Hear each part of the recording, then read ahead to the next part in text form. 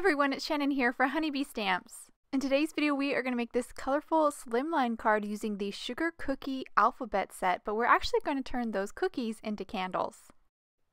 So we're actually going to start off with the Sugar Cookie Alphabet set. Here is this set here. You get all the letters in the alphabet, including some punctuation, which I think is awesome. But you also get these little flames, and that's what we're going to use to make these cookies candles.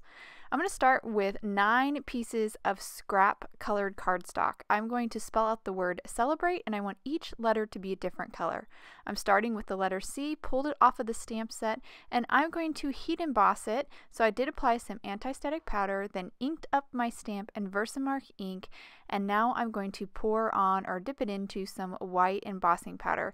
Just tap off the excess here, and then I'll heat set with my heat tool.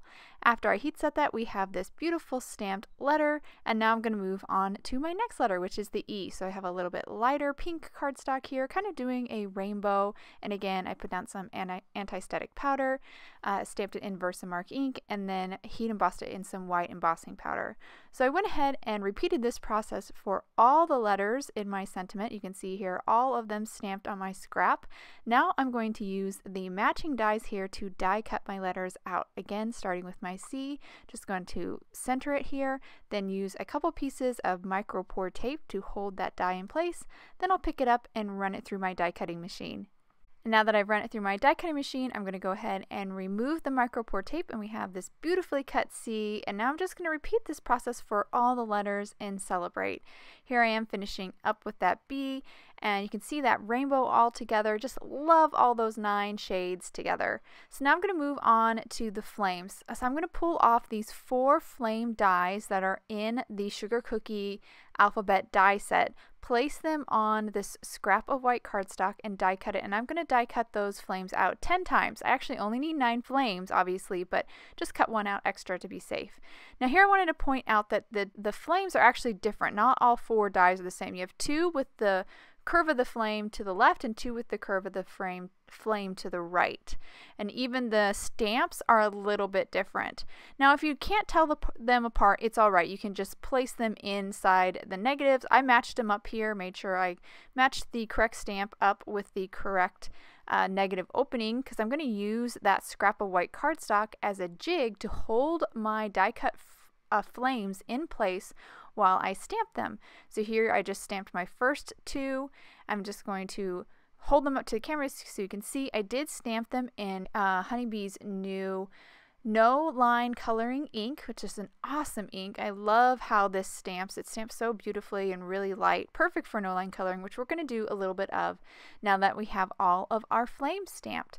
So I have my Copics here, and I am just going to color each one of the flames with uh, Y06 first. Really simple Copic coloring because these are very tiny. And then I will grab an orange YR04 and just color the kind of base of the flame to make it really look like fire. Then I have a Copic multi-liner here and I'm just going to draw in the wick. So just go right over the stamped line of that wick with the uh, multi-liner to really give it that look. Using a jig and die cutting out your images first before you stamp them and then stamping them is a great way to do multiples of the same image. It really made creating these flames really quick and easy. So now that my flames are all done, I'm going to go ahead and adhere them to each one of my candles. This is really easy, just adding a tiny bit of glue to the very bottom of the wick and then just sticking them down. I'll repeat this process, of course, for each one of my letters. Here I am finishing up my E, and once I adhere that flame down, I'm ready to move on to kind of my sub-sentiment. I have the new Bitty Buzzwords stamp set. This is an awesome set. It has all of the honeybee buzzwords kind of just shrunk down a little bit and perfect for this card especially. I'm going to ink up friend here in intense black ink. This is an, also a new ink from Honeybee and I love it. It stamps beautifully. Now that I've stamped it onto the white cardstock, I'm going to grab the coordinating die, line it up, and then of course die cut it out. And now I have a perfect kind of sub-sentiment to go with my uh, celebrate candles. So now I'm going to move on to my slimline card base. I took a regular 8.5 by 11 sheet of cardstock and cut it at 7 inches. This leftover piece would be great for creating a slimline panel, but I'm not going to need that today, so I just went ahead and scored it at 3.5 to create my base. Now I'm going to use a couple pieces of micropore tape here just to hold my card base down while I arrange all of my letters and my sub-sentiment. So I have all my letters here. I did go ahead and add foam adhesive to the back side of each one of those letters and now I'm just going to quickly arrange them here on my slimline card base kind of do um, not nice and straight I don't even think they would quite fit if I did them all straight so I kind of did them um, angled, which I think is more fun. Then figured out a spot for my friend and also added some adhesive to the backside of that sub sentiment. Now I'm ready to go ahead and remove the backing on the foam adhesive and stick down all of my candle letters. Once I have all of those stuck down, now all I have to do is stick down my friend. So I will remove the backing on that, on the foam adhesive on that, and just place that right down onto my card front. And once I get that stuck down, my card is actually complete. Now hold the card up to the camera so hopefully you can get a good look at all the details on this card.